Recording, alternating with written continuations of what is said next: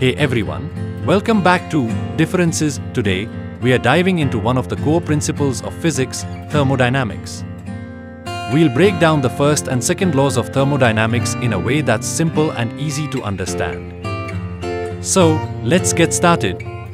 There are four the zeroth law of thermodynamics, the first law of thermodynamics, the second law of thermodynamics, and the third law of thermodynamics. These four laws assert that all the thermodynamic processes obey them. The first and second law are the most frequently used laws in thermodynamics. Let's begin with the first law of thermodynamics. This law is all about energy conservation. It states that energy cannot be created or destroyed, only transformed or transferred from one form to another. Imagine you have a battery.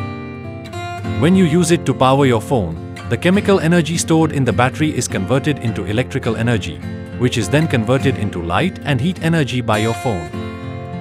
No energy is lost in this process, it just changes form. In a more formal sense, the first law tells us that the total internal energy of a system is the sum of the heat added to the system and the work done on the system.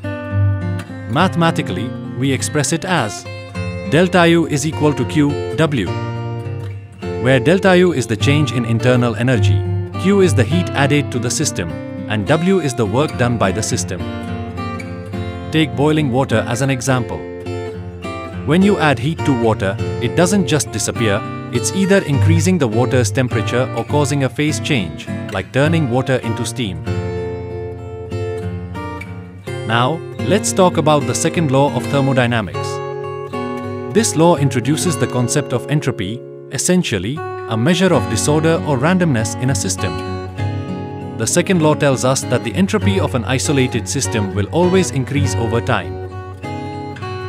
This law is why your coffee always cools down to room temperature, but it never spontaneously heats back up. The natural flow of energy is from hot to cold, and this process increases the overall entropy of the system. The second law also governs how heat engines work. In any energy conversion process, some energy will always be lost as heat, which cannot be fully converted back into useful work.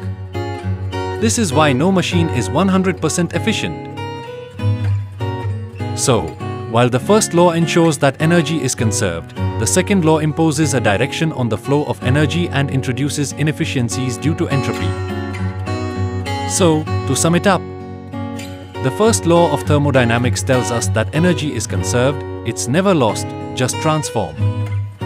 The second law reminds us that the flow of energy has a preferred direction and it tends to increase the disorder or entropy of the universe.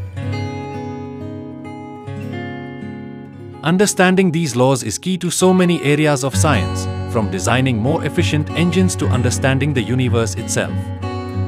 If you found this video helpful, be sure to hit that like button and subscribe for more fascinating content. Thanks for watching Asterisk Differences Star.